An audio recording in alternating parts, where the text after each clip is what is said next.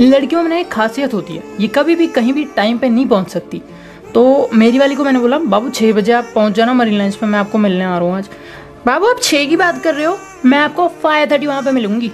आप पहले नहीं पहुँचोगे, मैं पहले पहुँचूँगी। आप मेरा वेट नहीं करोगे, मैं आपका वेट करूँगी। समझे आप? यार, मेरे मन में तो लड्डू फूट गया मैं कहा, यार, मेरी वाली अलग है। तो मैंने उससे पाँच बजे कॉल किया। मैं बाबू कहाँ पे हो? बाबू, मैंने बस निकल रही हूँ यहाँ से। मैं बस रेडी हो रही थी। टचअप करना बाकी है बस। मैं खुश हो गया, मैंने कहा, यार, वन टन के आ रही है आज तो? तो मैंने उसे फिर छः बजे कॉल किया। मैं वहाँ पे पहुँच गया, लेकिन मुझे दिखाई नहीं थी तो मैंने कॉल किया, बाबू, कहाँ पे हो? बाबू, मैंने अभी कैब लिया, बस मैं पहुँचने वाली हूँ। आप वेट कर, आप दो मिनट वेट कर लो, बस मैं आ जाऊँगी। ज़्यादा वेट नहीं कर पाऊँगी मैं अपने बाबू को। मैं यार, कोई बात नहीं, दो मिनट में क्या जा रहा है? सात बज गए। मैं बाबू, कहाँ पे हो?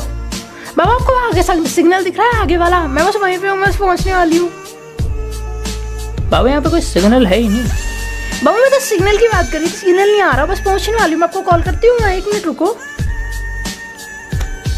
यार जब वो चीज़ नहीं कर सकते टाइम पे नहीं पहुँच सकते तो पहले ही बोल दो ना मैं भी लेट निकलता